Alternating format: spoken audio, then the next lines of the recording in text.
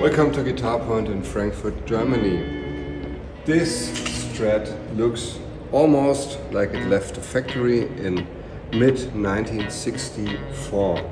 It's in amazing condition, it's almost like new.